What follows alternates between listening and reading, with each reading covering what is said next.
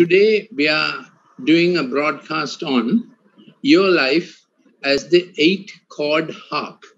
Harp was, a, was an old musical instrument, and I want to look at the life when a youth is 17 years old and track it from 17 to 43. So, what happens at 17? Uh, there was this young man whose father was famous in the town. Can we have the first slide? Whose father was the best known person, a, a, a great nobleman of his town. One of the young men answered, So the king in that country had a problem. Problem was that he was getting increasingly jealous with anyone who comes anywhere near his stature. He had been king for a long time. and kings become old in their role, they become despotic. Uh, so there was a problem in the country, and king behaved in a very irrational manner. Now there was a young man whose father was a, a great noble also, and uh, he told the king, "I have a solution for your problem." And what was the problem? That the king was behaving irrationally. And the king's counselor said, uh, you need to get a good musician to put you to sleep. And with little more sleep, you might behave more rationally. Uh, so, you know, that was their advice. So king thought nothing lost trying that advice. Uh, so, uh, so king thought there's nothing lost trying that advice. So he said, get me the best musician available in the country. Then the young man who was whose father was serving in King's Court said, I know my friend. Uh, he's from a town called Bethlehem. And his father is a famous man in that town called Jesse. Moment the young fellow said Jesse, uh, the king was all alive because Jesse was the most important person. And before, uh, the, the original capital of that uh, town was uh, original capital of that town was uh, Bethlehem. So it was an important city. So important man in an important city. So this young fellow recommended his friend, which is a which, which is a very nice character. Uh, whereas this young man called David was 17 years old, and his great father Jesse had eight sons, seven from his first wife who died, and in his old age he had another fellow from one of his romps. Uh, from the, he had a, another, uh, another son, the eighth son, and eighth son was born when he was quite advanced in years. So Jesse was rather embarrassed about this young son, he being 80 years old and the son was 17 years old. But uh, so he never introduced his youngest son from a war widow, never introduced the youngest son to any friends, any, not to the king, of course. Uh, so he put his younger son to look after his smelly sheep, whereas all the other seven sons were uh, in the king's army and king's court and so on. So David had an unfair deal by his own dad. And he later would say, even if uh, my mother forgot me, my father thought I was an embarrassment. That was the context of David's life. But then there's a good shepherd that has given us a gift, and that and that there's a saying which says, uh, "Your gift will take you to the king." There's a boy called Dick Whittington. He had a gift. How many of you know? The gift he had was a cat, and there was a bubonic plague at that time, and everybody was uh, the, the, the, flesh was very rare. Everybody was eating their dogs and cats, but young Dick Whittington said, I'm not going to kill my cat. So when the king's house got infested with rats, that's how the story goes, uh, young Whittington said, I have a cat, O king, that can solve your problem.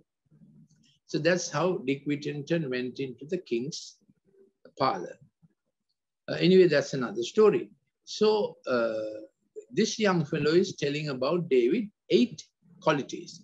Behold, I have seen a son of Jesse. So he had a great, I am calling the eight courts. He had a great heritage, but in the heritage was a defilement that his father was not quite acknowledging the son. I don't know whether you have gone through a crisis like this in your personal life. You are born to nobility, but the father did not give him confidence, competence, and the character he needed. It's a father who has to do that. Mom makes it safe every day. Father gives the next step, next stretch, boundaries, uh, confidence, competence, accreditation, 3A Fitch rating. Uh, so uh, second thing, the associations he had in the town of Bethlehem. Because if you want to be somebody, somebody, and come into royal favor, uh, the town to live is, is Bethlehem because all the greats lived in Bethlehem. So first chord is heritage, second chord is association. Now, if you were in a class with me, I, have, I would have got you to repeat this. First card is heritage, second is association. Uh, so this was the association, uh, your line of inheritance from your dad. Uh, then how much he empowers you in it, which is also important. You are not only born into nobility and greatness, you have to be trained into nobility and greatness. And as I said before, uh, mother makes you safe inside in your relationship. So intimacy, close relationships come from mom. If mom fails you, feel as if your inside relationships you're not confident about. But if dad is aloof, aggressive, abusive, alcoholic, sad to say, or just distant, uh, then you become not so confident in your external relationships. That might have been David's issue. But the good shepherd, God our Father, had his eye upon David because there's no, when there's no father or mother to fully take care, uh, God takes care. That's God's sociology. So before Karl Marx came, God had his own sociology that he will take care of the widow. He will be on the side of the oppressor. He'll be on the side of the destitute. Uh, he will not allow the poor to be harassed. So that's that's God's sociology. That's God's Das Kapital. So associations. Uh, so in that town, that was the town to be with. So associations are whom you begin, to, so your family is your first association, then your associates make you great. So what was the surrounding of Bethlehem? It was surrounded by enemy country. They had they were always at loggerheads or war with another nation next door called Philistines. And so everybody in Bethlehem had to go through national training to equip for war at any time. Uh, but David was not given that opportunity. He was looking after his father's sheep.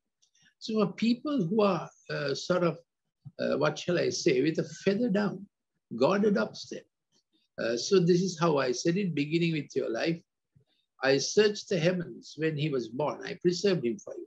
I put words into the mouth to preserve the child.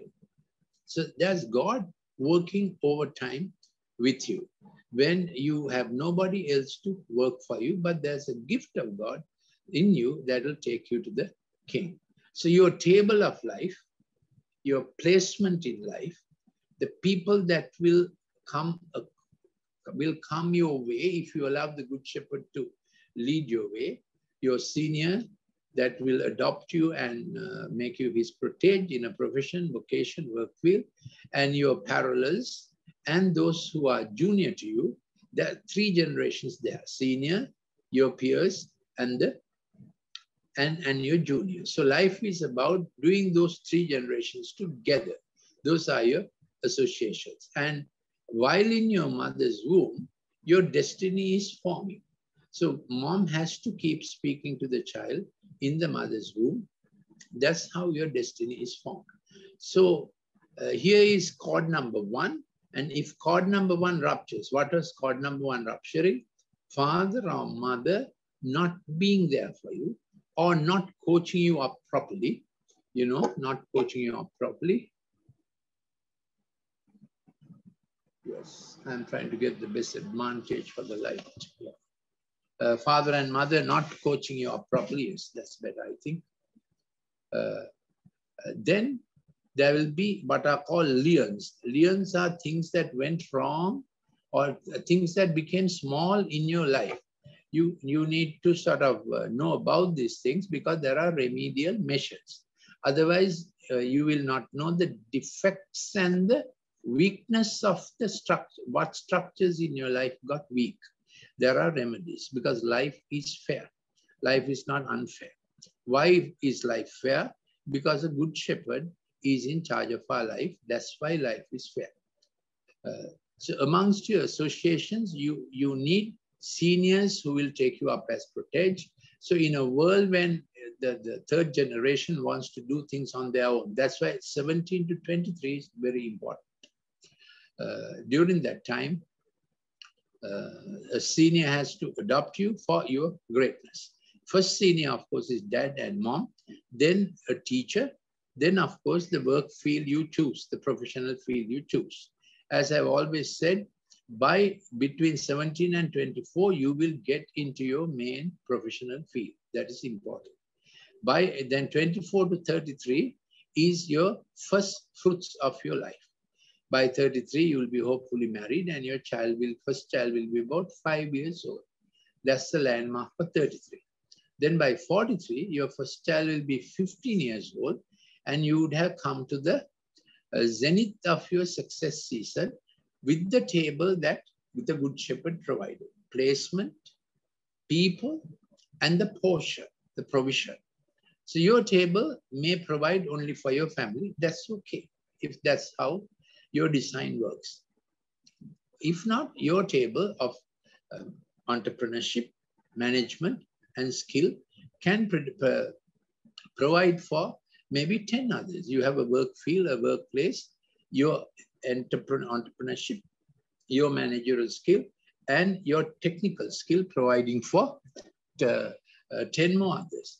On the other hand, there may be people who are chairman of a company of 10,000. Their entrepreneur skill, not that they did it alone, but their entrepreneur skill, managerial skill, and the technical skill could accommodate, provide for make facilities for, think through, plan for uh, 10,000. So uh, you need to know uh, what, what your proportion is as time goes. So there is grace, there's gift, and there's a measure.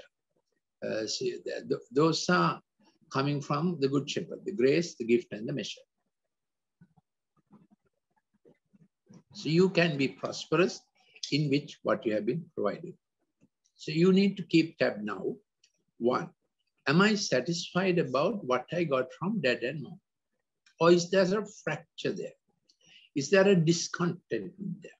Then you have to ask the question, is my discontentment, discontentment reasonable or unreasonable? Uh, because it, your assessment may not be right. They might have provided you everything, but you did not use it well.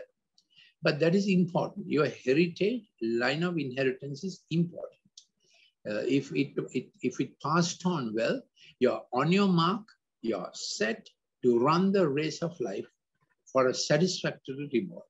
If not, as you as you get to the mark, you feel as if there's an ankle lock. These are spiritual principalities. You you always start late, late for interviews, late for work. Uh, you don't know time has gone. Uh, so that's a spiritual phenomenon. Man is not merely brain, man is spirit, man is conscious, man is heart. Heart has all kinds of affections, but your conscience will tell you to balance it up.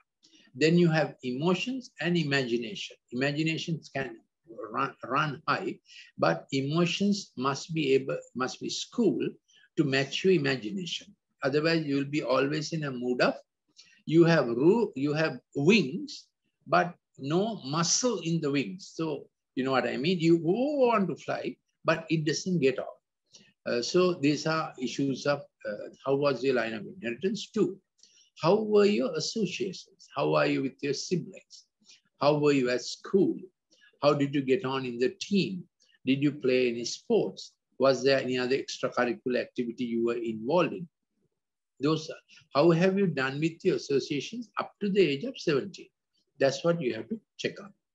Uh, so if your associations have not been good, then what happens is all those SQ, sociological quotient, uh, EQ, emotional quotient, um, get damaged or get diminished, whereas your IQ may be very high. So life is not only about IQ, IQ, SQ, and EQ associations are important.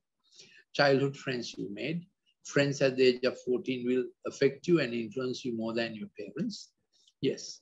So you, you really, for this lecture, you have to take a pen and pencil and write it down. If you send me your WhatsApp, if you send a WhatsApp message, I can send you the slides. And then you can do homework yourself.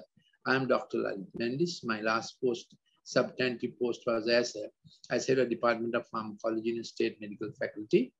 Our WhatsApp number in our Empathic Learning Training Center is plus 94 76 313 4800 plus 94 that's Sri Lanka 76 313 4800 please send a WhatsApp request for whatever clip you want this is my 285th clip science and reason my uh, I have an app Golden Nuggets you can download it free of charge from Apple Store or Google and now we go to chords 3 and 4 yes chords 3 and 4 skill and valor. Valor I'm using in a larger sense.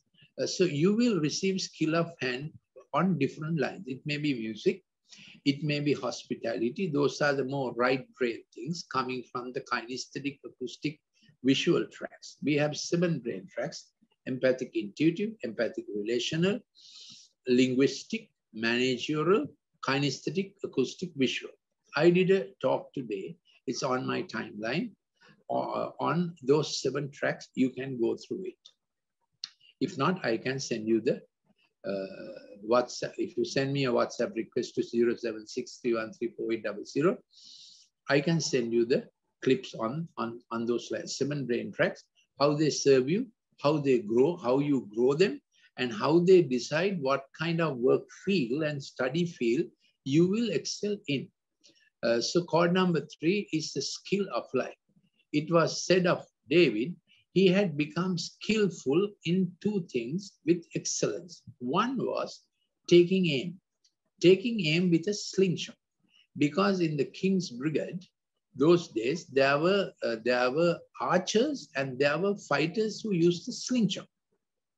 So uh, any young fellow who can get, get in qualified to the king's brigade as a soldier with the slingshot or archer they shoot from afar. Their life is safe and they are much sought after. So David practiced his slingshot every day. This is about how you become excellent in a skill. You have a gift, but you have to develop it to skillful, excellent level. So what he did was, this old story, but get the principles. What he said was, I will get the highest, I will get the last leaf on the last twig on the highest branch of the tallest tree. And he kept practicing. It was, it, he made the slingshot with leather and so on. It's wrapped around his hands. So he must have his, and he became ambidextrous. He did it with both hands and he could quickly switch off. So usually that brigade could shoot sharpshooters with both hands, some with the bow, some with the slingshot. Uh, so uh, David practices. People will see and recommendation will come about you to take you to high place before your king, before the king or, or the head of state or whatever, highest place when you develop your skill. Now that is skill. Valor is about character. So in the caste CASK, there's character, there's attitude, there's skill, and there's knowledge. You have to develop all four. So if you are skillful and your attitude is no good, people will not like to recruit you. Nowadays, they recruit you more not for IQ, but for skill, how well you can get on with others. If your skill is great and attitude is no great, not great, people will not recruit you. They are, they'll ask you questions and ask you to fill forms just to judge your attitude. So character, attitude, skill, and knowledge. And knowledge has to be upgraded all the time. Otherwise, the skill becomes outdated. So you may be extremely nice fellow in attitude, very well charactered, but if your skill is not upgraded by knowledge, you will not get higher placement in life, you will be mediocre. So this is the combination that goes between skill and valor. Uh, I use the term valor to mean how much, how much endeavor. You, I might have called it endeavor also, skill and endeavor. how much endeavor you put into your skill set. So you need to have a balance between the two. You may be very skillful, but not endeavoring, you get nowhere. Well, you will be, uh, you will in times past, uh, you, you may found, found that something, I told you ankle lock pulls you backward. Now you will move forward without effort. You will pave the way to make others to come forward also. That is part of your skill set of the skill of getting others to run alongside you. So your destiny is not going, is going to be uh, shaped not only by seniors, but others who espouse your cause and are running alongside you. They are your peers, but they have found greatness in you. So many people blame seniors saying they did not do that, they did not do the other, but you check yourself how you are doing with your peers. Do they think you are worth supporting? Then, of course, your juniors, whom you come alongside and help them along, that makes the tri-generational run for life. So between 17 and 23, it's mostly about your peers. Then between 24 and 33, it's mostly about your senior. Between 33 and 43, it's about your juniors, how you coach them. And beyond 43, you are the senior, so all the time. So up to 43 is your success season. You are fruitful, you have multiplied, and you have filled two thirds of your life. So up to 33, one third of your life portion, up to 43, two thirds of your life portion. Then next one third of your life is about getting others into their uh, fulfillment and fullness of portion. That's how you have a peaceable society. You would have contributed uh, to that, that peaceable society in which you live. Uh, now, everyone blames COVID. We need to have a plan how to come out of COVID. So this is the eight chord harp you're going to play. Harp is your life, the best sound, the best skill. Uh, so David took aim with the slingshot till one day he got that last leaf on the last twig of the highest branch of the tallest tree. Then he also practiced the harp. You know, music makes brain brilliant when you do the music, when you make the music, when you play the music. And uh, the string instruments make brain more brilliant. I can't go into all the digital details today. If you send me a WhatsApp number, I will send you the WhatsApp clips for this. Uh, so well, you will be bold beyond what you think. In times past, you were pulling back. Now you will move forward without effort. You will pave the way to make others to come forward. This will propel you fast forward. Now the next two chords, chords five and six. Battle and prudence. So there's a time to surge forward.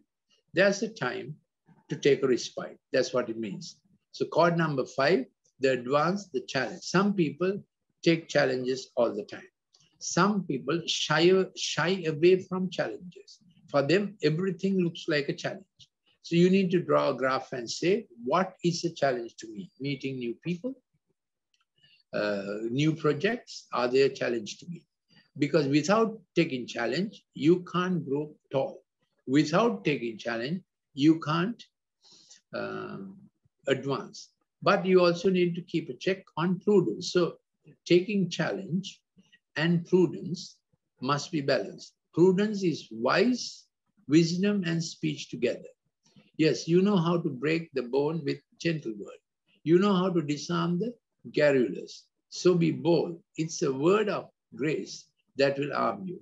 Use it again and again. Angry people will get on with each other when you speak because you have a gift of prudent, wise, gracious speech. Uh, keep it going. Ask for it. Uh, so that, that's the balance between going forward time and, and consolidating time. No general goes forward all the time. He goes forward, takes some territory, consolidates territory. Life is like that. Now I come to an important, important uh, section, uh, chords seven and eight. Chords seven and eight. Good presence will be your charm. So haste makes waste.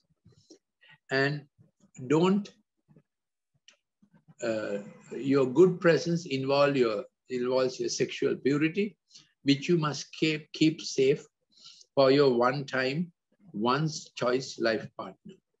Uh, so for a young boy of 17, what I have to say is, there is a shape that good shepherd, your designer has put into you, and you begin to feel the shape that your life partner should be, generally for boys after 21. But for girls, from about 18, they begin to feel it. So girls are usually about three to four years ahead of the boy in their uh, inside shape. You have to know that. Uh, so, uh, so generally by about 24 is the time that a boy begins to say, this begins to identify properly, this may be the shape in my heart that is looking for its other side. In the beginning, it is said from the first man's side, the woman was made. So now also there is the other side, the better half you're looking for. You begin to feel the shape of your better half with, with a man when he's about 24. With a girl, even from 18, she gets a sense of whom she may want to have as a better half. Yes. So good presence will be a charm, strength that makes access, uh, enhancing your presence, making doors open wide. People will hear uh, that, that uh, they ought to favor you. That's, that's a presence. Uh, that's the favor of God. The good shepherd working for you. The other side of it is how you choose your better half at the right time. So a boy making decisions early may be unwise. You have to wait till you recognize the better half, what the shape of your better half should be. And then by that time you're qualifying in a field, may not be fully, but you're qualifying, you, you get a rough idea about the stretch of your life for the next 14 years or so. As I said, 17 to 23, 23 to 33. That's how life goes. So those, uh, the eighth chord is this factor of giving enough room in your life for the good shepherd to have interaction with you. That's the decision you have to make. Whether you can do your life yourself or whether you want the promises of the good shepherd, help of the good shepherd, counsel of the good shepherd to work in your life. He promises to give you a fair life portion. He calls it green. He says, I will give you resources in those, the next resource, the next resource. He says, I will give you straight paths. He says, I will give you time for recuperation when things go wrong. I will help you in it. Uh, then he says, I, will, I have prepared a table. If you look for your placement, people and the provision with me, I can help you. If not, we are on our own, trial and error. But there's one thing that you can't do trial and error on, that is your life partner. No sexual thrills to be tried because they uh, harm you for life. It's very difficult to recover from uh, uh, inappropriate sexual thrills and sexual damage. And the digital screen all the time pushes you towards it because the digital screen sets you up for bottom-up regulation. Try and see. Sitannata pera panala balan. Jump before you think. Yeah. Uh, we were told paninnata pera sitala balan. Now the digital screen says jump before you think. So I did a, a talk on this in the morning. So please take that clip number 285. I think this will be clip number 286. Whatever it is, my morning clip did the digital part. Uh, evening one, I'm not doing the digital part. Uh, so the Good Shepherd factoring with you, helping you, uh, you have to make a, a, choice about that, whether he you would like him in your life. He especially helps when you are defeated and down. He especially helps in righting wrong, meaning putting it right. So when you are correcting your uh, young fellows, kids, you must give the, speak to them improvement. As I said, my talk in the afternoon is completed by my talk in the morning. Please listen to that also. If you need the clip, send me a WhatsApp to WhatsApp number 076313 4800. At the age of 18, I became first in the island in the A-level examination, botany, zoo, chemistry, physics. At that time, I didn't believe in a good shepherd. I was a confirmed atheist because of my limited knowledge on the theory of evolution. You know, when you finish A-level and you become first in the island, you think you know everything. But thankfully, I went through some experiences and my life took a different attitude because I found when my brain got brighter, my heart got tougher. That's what happened. Uh, so in, I entered Colombo Medical Faculty and every exam I was batched up. But by and by, I began to see that the Good Shepherd has a great contribution for my life. I suggest it to you also. Now, very quickly, five areas in which you need to observe whether you are damaged. Yes, first one, morals. Uh, how do I, uh, how can I see the screen better, Eddie? First one, morals. Uh, don't lose your moral authority to another. Be careful of people who abuse and man manipulate you. Uh, there, is a, there is a moral fiber, a moral fracture uh, can be very harmful to you. In that context, I took, uh, spoke to you about uh, misadventures in sexual thrills. Second one is wealth and a spirit of poverty. Some people always feel they will not do well in life. Uh, they, they, have a, they carry a spirit of mediocrity. You need to attend on that. You need to say, how do I become excellent? That's why the Good Shepherd says, I give you a portion of life full, and I give you the next resource and the next resource.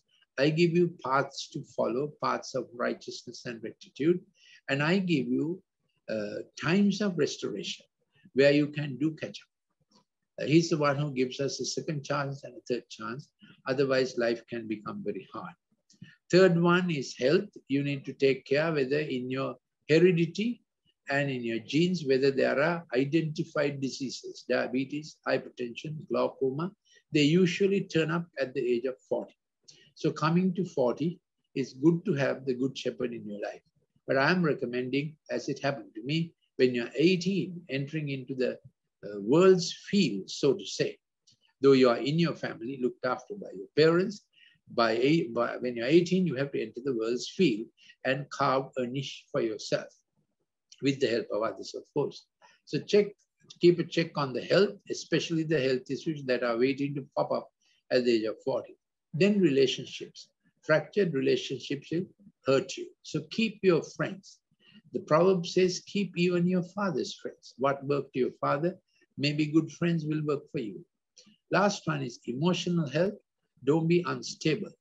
A man's spirit will endure trouble, but a wounded spirit, who can endure? So wounds of the spirit is a little different from wound of the body. I said man spirit, conscious and heart in good balance, conscience and heart, then imagination and emotions in good balance, then finally you have the computer, the cognitive brain. Uh, so that's where I want to stop. Uh, the eight cords, the two, two sets of four cords working together. Can I do a little, just a quick uh, replay of the cords, Eddie? Yes, first one, your line of inheritance, and then your associates. That's the first set. Next, next three and four, uh, the skill and the endeavor working together. Next one, five and six, the challenge, taking challenge in advance and being prudent, wise in speech and in consolidating. Seven and eight, the presence and your other half. Eight, the role of the good shepherd in your life. Thank you for listening. Next Saturday also 3 p.m. we meet again.